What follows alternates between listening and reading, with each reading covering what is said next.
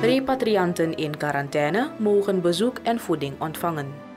Repatrianten die op door de overheid aangewezen locatie zitten, mogen wel bezoek en voeding ontvangen, maar uiteraard rekening houdend met distancing met alle regels die door volksgezondheid en die door de diverse diensten zijn aangegeven, benadrukt kolonel Jerry Slijngaard, coördinator van het Nationaal Coördinatiecentrum Rampenbeheersing NCCR en lid van het Nationaal COVID-19 Management Team. Het volledige bericht kunt u lezen op www.deboodschap.today. Today.